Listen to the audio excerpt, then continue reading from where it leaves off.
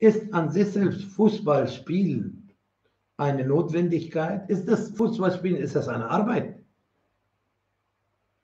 Und äh, diese Arbeit, auf welcher Basis basiert sich diese Arbeit, wenn das Arbeit wäre? Woher bekommen die Fußballer ihren Lohn? Von welchen? Und was machen die Fußballer, wenn sie alle spielen, um etwas zu gewinnen am Ende? Und wer zahlt? Was ist das, dieses System?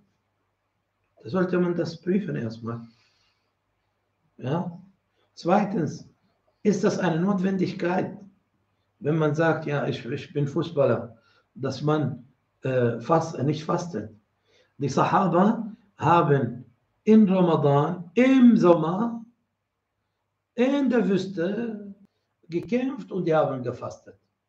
Und die spielen Fußball. Und die brauchen nicht zu fasten.